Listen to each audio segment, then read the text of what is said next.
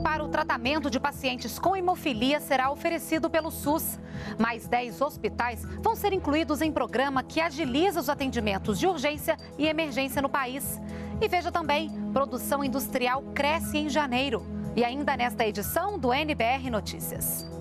Superação da extrema pobreza. Governo apresenta resultados do Brasil sem miséria a representantes da sociedade. Nós vamos continuar trabalhando e lutando para a universalização dos serviços de saúde, de educação, de assistência. Produção nacional de grãos deve ultrapassar 183 milhões de toneladas este ano. A soja é o grande destaque da safra. O NBR Notícias começa agora.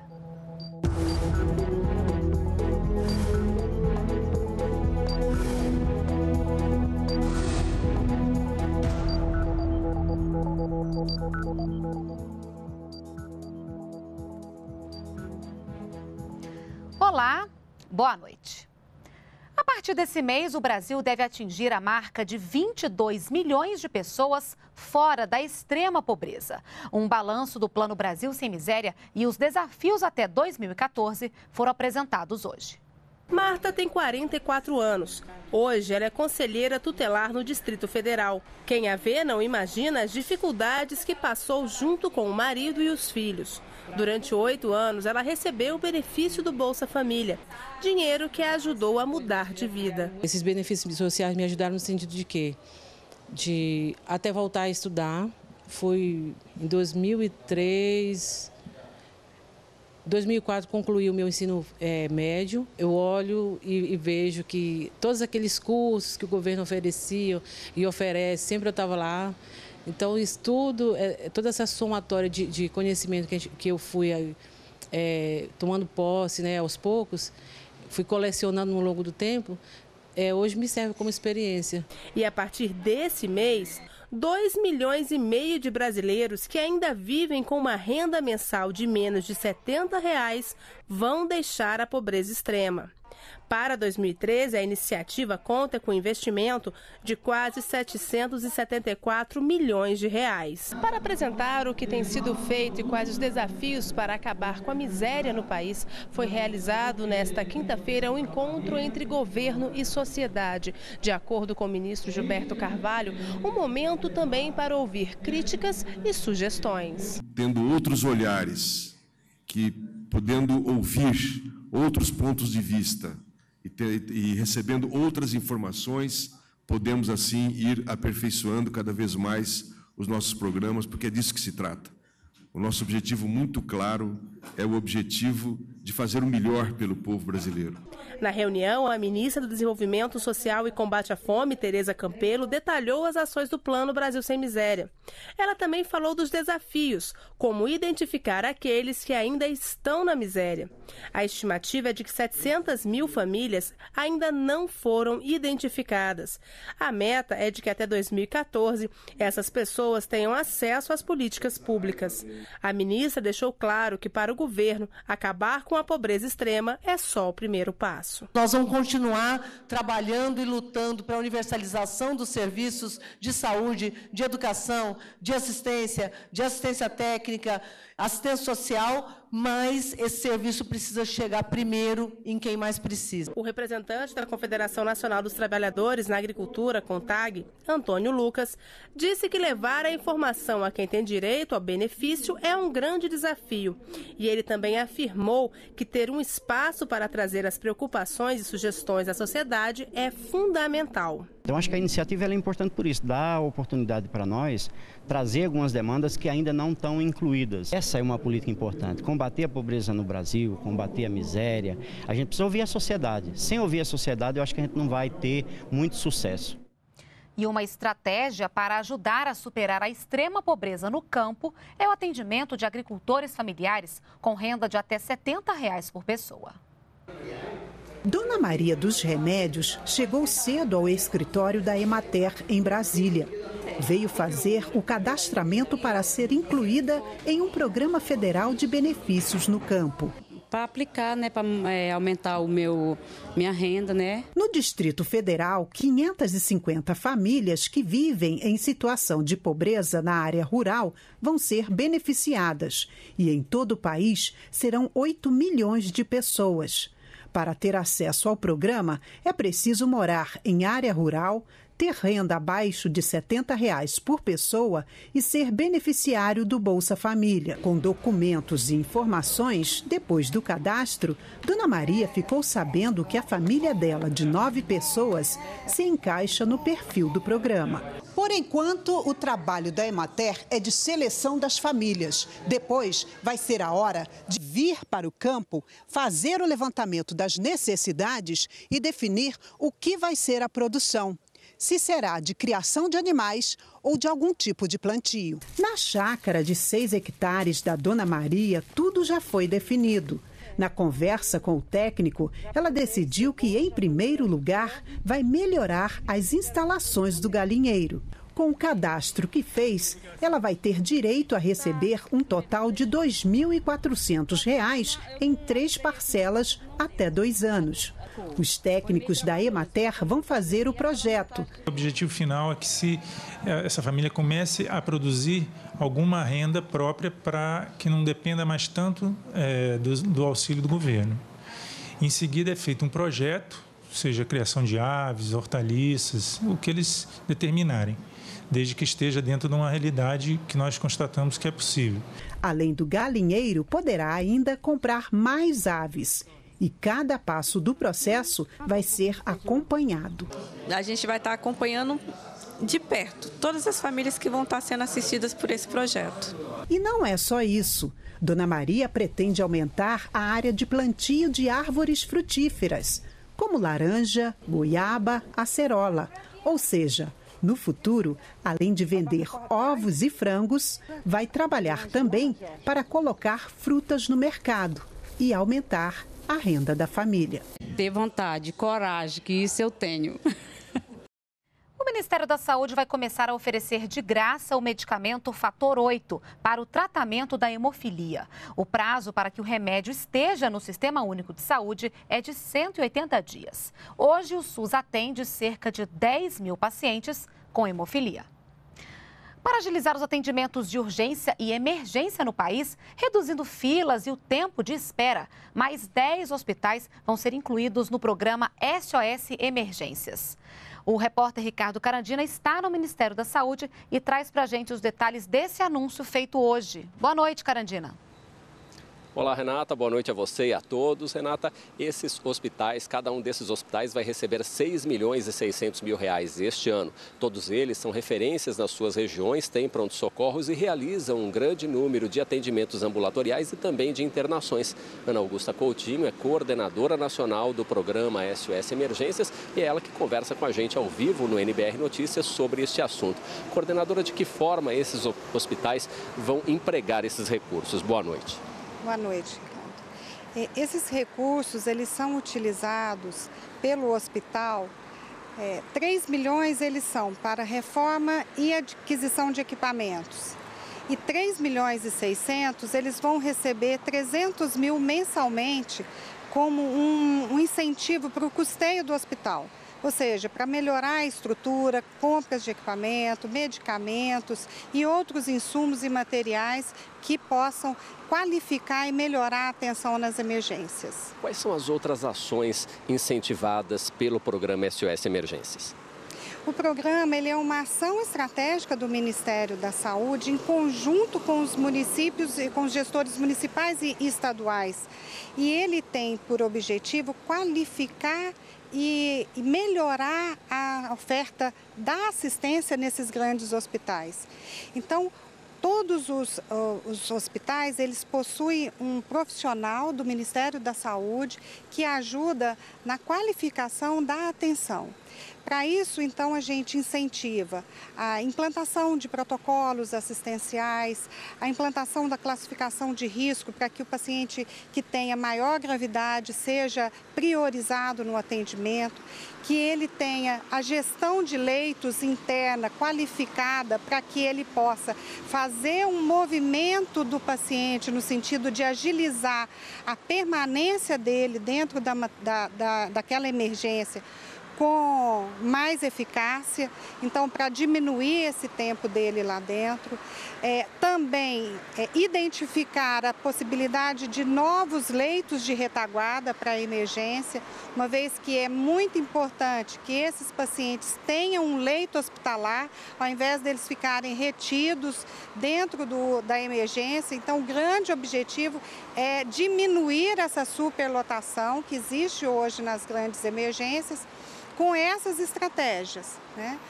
É, Para isso, então, existe também incentivo de pagamento dos leitos de é, retaguarda para que o, os municípios e os estados possam contratualizar, buscar né, parceiros que possam ofertar esse leito de retaguarda. Tá bem, então obrigado pelas informações. A Ana Augusta Coutinho, coordenadora nacional do programa SOS Emergências. E com a inclusão dessas novas 10 unidades, agora já são 22 os hospitais que fazem parte dessa iniciativa, que é também parte da rede Saúde Toda Hora. A meta até o ano que vem é que os 40 maiores hospitais e pronto-socorros do país também façam parte dessa rede. Renata. Obrigada, Canadina, pelas informações ao vivo, direto do Ministério da Saúde. E a partir de agora, as novas unidades de pronto atendimento, as UPAs 24 horas vão ter 18 meses para concluir as obras e outros 90 dias para iniciar o atendimento. Além da mudança nos prazos, os incentivos financeiros para a implantação de novas UPAs também foram ampliados em mais de 50%. Com as novas medidas, a ideia é garantir mais rigor e controle dos recursos públicos destinados às obras das UPAs e também das unidades básicas de saúde. Hoje, a ministra Eleonora Minecucci, da Secretaria de Políticas para as Mulheres, deixou uma mensagem para as brasileiras, em homenagem ao Dia Internacional da Mulher, celebrado amanhã, 8 de março.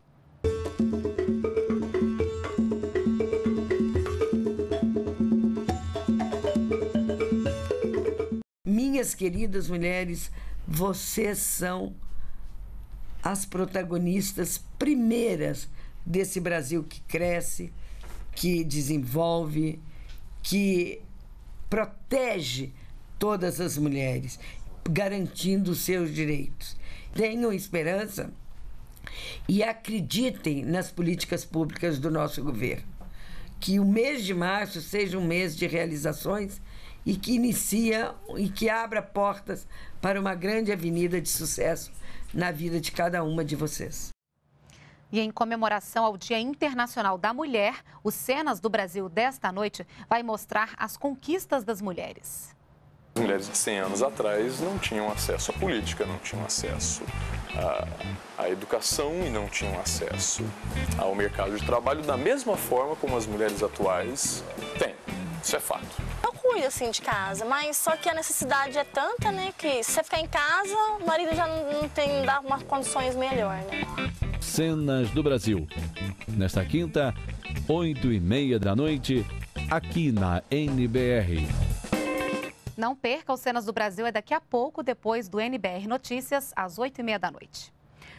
A produção nacional de grãos deve ultrapassar 183 milhões de toneladas este ano. A soja é o grande destaque da safra. Os números foram divulgados hoje pela Conab, a Companhia Nacional de Abastecimento. A safra 2012-2013 deve chegar a mais de 183 milhões de toneladas, um aumento de 10,5% sobre a safra passada, que foi de 166 milhões de toneladas. A produção de soja foi o grande destaque e registrou crescimento de 23%, um total de 82 milhões de toneladas do grão. O milho também teve bom desempenho e a produção aumentou 5,5%. A área total de plantio de grãos cresceu 4% em relação à safra passada e chegou a 53 milhões de hectares. É, já o IBGE estima que a produção nacional de grãos este ano chegue a 183,4 milhões de toneladas. O valor é menor que a previsão da Conab. Para o IBGE, a safra deste ano deve ficar 13% acima da produção de 2012. A área plantada deverá ser 8% maior que a área colhida no ano passado. A produção da indústria nacional cresceu em janeiro deste ano. O aumento registrado foi de 2,5% em relação a dezembro do ano passado. Segundo o IBGE, o resultado de janeiro interrompeu dois meses seguidos de taxas negativas. Em janeiro deste ano, a produção industrial cresceu 2,5% em relação ao mês de dezembro de 2012. O índice foi divulgado nesta quinta-feira pelo IBGE. Em dezembro, a indústria ficou praticamente estagnada, com alta de 0,2%. Em novembro, o resultado foi de queda de 1,3%. O crescimento da atividade industrial foi puxado principalmente pelo setor de bens de capital, que cresceu 8,2% em janeiro. Entre as atividades, as principais influências positivas foram registradas por veículos automotores, refino de petróleo e produção de álcool. A presidenta Dilma Rousseff está em Caracas, na capital da Venezuela, para acompanhar o velório do presidente Hugo Chávez. O presidente venezuelano morreu na última terça-feira, aos 58 anos, vítima de câncer. Uma cerimônia de despedida está marcada para amanhã, às 10 horas no horário local, 11h30 da manhã no horário de Brasília. De acordo com o governo venezuelano, 33 chefes de Estado confirmaram presença. O Ibama está apertando o cerco contra o desmatamento ilegal. Em um mês de fiscalização, o volume de madeira apreendida superou tudo o que foi recolhido pelos fiscais em 2012. A Operação Onda Verde começou no início de fevereiro, com ações em Santarém, Anapu, Uruará e Novo Progresso. Já foram apreendidos cerca de 18 mil metros cúbicos de toras ilegais. Essa quantidade é maior do que o que foi apreendido em todo o ano passado, 10.500 metros cúbicos. Essa é a primeira vez que o IBAMA antecipa para fevereiro as operações de combate ao desmatamento ilegal na Amazônia, que costumavam começar em abril com o fim das chuvas. Além do Pará, a operação acontece também no Mato Grosso, Amazonas e em Rondônia. Experiências bem-sucedidas de proteção a unidades de conservação foram tema de um encontro em Brasília esta semana. A repórter Carolina Becker conversa agora com o coordenador do Instituto Chico Mendes de Biodiversidade e tem as informações sobre esse seminário. Carolina, boa noite. Boa noite, Renato. O encontro foi o primeiro seminário das áreas de proteção ambiental do Brasil. Quem tem mais detalhes é Bernardo Brito, ele é coordenador geral de criação de unidade de conservação do Instituto Chico Mendes. Coordenador, primeiro explica para a gente para que, que, são criadas as áreas de proteção ambiental e dá, dá uns, uns exemplos das áreas de proteção ambiental. Boa noite. Boa noite, boa noite, ouvintes. Bom, as áreas de proteção ambiental, elas são uma categoria de unidade de conservação do nosso sistema brasileiro de unidade de conservação. Ela é criada para proteção de espécies, proteção de mananciais, ou seja, os nossos, os nossos rios, e também para o ordenamento territorial. Né? Então, às vezes, a gente cria uma área de proteção ambiental para poder estabelecer regras mais claras sobre como que vai ser o uso daquele território, é claro, com foco na proteção do meio ambiente. Quem é responsável pelo gerenciamento dessas unidades de conservação? Bom, as áreas de proteção ambiental elas podem ser federais, estaduais ou municipais. Esse encontro que a gente teve é, durante essa semana, a gente teve a, a oportunidade de reunir tanto as APAs federais, que hoje são 32, como também as APAs estaduais e as APAs municipais. Quais são os maiores desafios hoje, os maiores problemas encontrados na área e como que foi o, o seminário? O que, que teve de resultado? Bom, o maior desafio de fato é compatibilizar o desenvolvimento econômico e o uso sustentável dos recursos naturais. As APAS ela permite que a gente possa fazer essa equação, fazer um zoneamento das áreas onde vão ser utilizados os recursos e aonde você vai ter o desenvolvimento econômico. Hoje, a gente teve o, o, fechamento do encontro e a gente está procurando estabelecer um documento que possa estabelecer mais claras essas diretrizes para o funcionamento dessa categoria. Obrigada, coordenador, pela entrevista. Quem quiser saber mais sobre as áreas de proteção ambiental ou quiser saber mais sobre o seminário, pode acessar o site do Instituto Chico Mendes em www.icmbio.gov.br. Renata. Obrigada, Carolina, pelas informações ao vivo. Há 100 dias da Copa das Confederações, uma página na internet mostra como está o andamento das obras. E você pode acompanhar. Basta acessar copa2014.gov.br. Duas das seis arenas que vão sediar os jogos já estão em fase de testes: o Mineirão em Belo Horizonte e o Castelão em Fortaleza. As outras quatro estão na fase final das obras.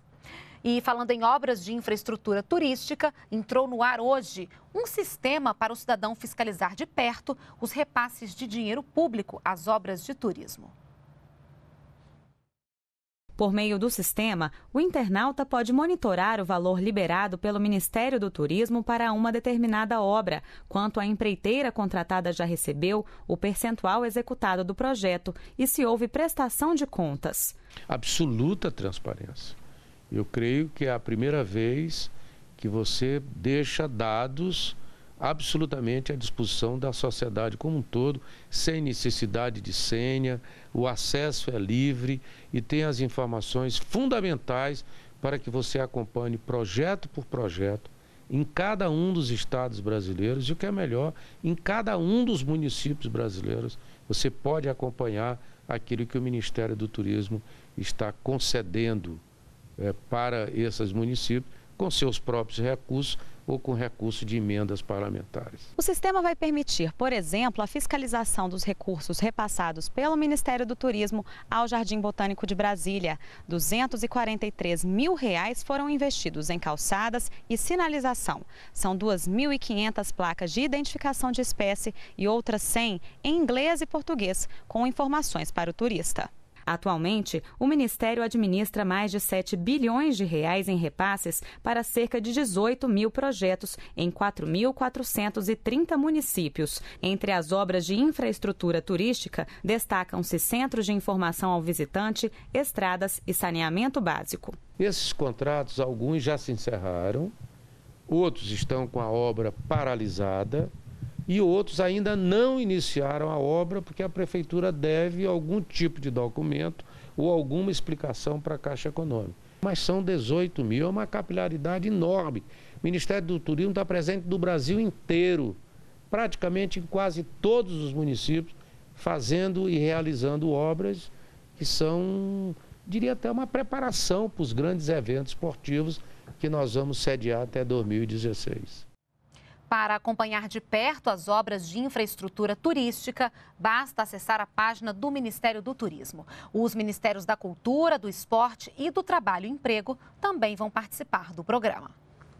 Esta edição do NBR Notícias fica por aqui. Para você, uma boa noite e a gente se vê amanhã. Até lá. Continue com a gente aqui na NBR, a TV do Governo Federal.